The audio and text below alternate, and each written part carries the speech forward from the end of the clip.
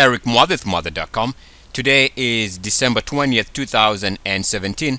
What I decided to do here is just for the sake of posterity, for the sake of memorizing where we are trading in terms of the crypto space, is I just want to keep this so we can down the road because some of you did not have the luxury to trade the dot-com bubble towards the late 90s. I just want to show you what the cryptocurrencies are doing where they're trading. So this is where they're trading. Uh, this is coin market cap. I guess I should put the URL.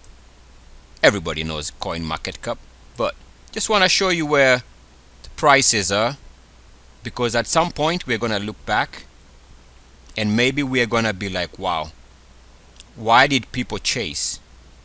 Right? At some point. At what point? Nobody knows. But at some point, there's going to be Jesus. How does this happen over and over again? That people chase an instrument or a sector that has exploded primarily because of the fear of missing out. Now, this website here, blockchainipo.io, just want to take a look and keep an eye on this area here where we it is showing the gain for the month of December alone. One month gain. Now, this can only happen in an overheated market. We are talking about a gain gains in the thousands, hundreds of percentage gains. Not one cryptocurrency, not one coin, but all these coins.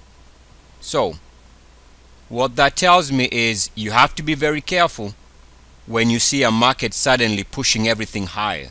Not that these instruments cannot move higher. In fact, in a hyperbolic move, they can even double in price in a very, very short, congested, concentrated period of time. And so again, one more time. Here we are, top gainers, just want to record this because at some point it's going to be a good history lesson for anybody who finds themselves in a hot market. And again, the trick here is nobody knows when this takes a break or maybe when this is a climatic finish.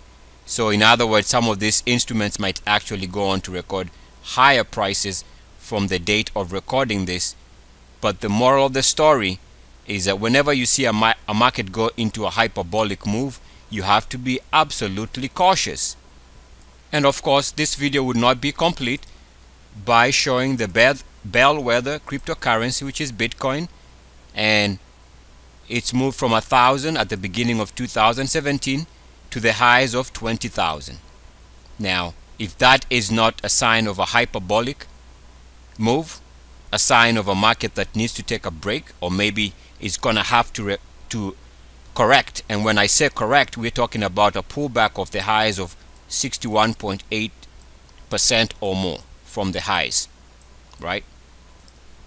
And if we take a look at Bitcoin and consider where it's trading right now we take so 20,000 which is the almost where it got to close to it we multiply this times uh, 0.618 you can see the short-term target is 12,000 and pretty much in a washout I would say it's gonna drop more than that. In fact maybe more than that to the 80 70% drop from the highs maybe even 90% it happens. It's just how markets respond. And then the best thing to do once you see these things start catering lower is to wait three years minimum three years right? Why? And you say, why three years? I'll tell you why. Because it takes three years for an instrument to set up properly before it can do an ultimate Muathe breakout.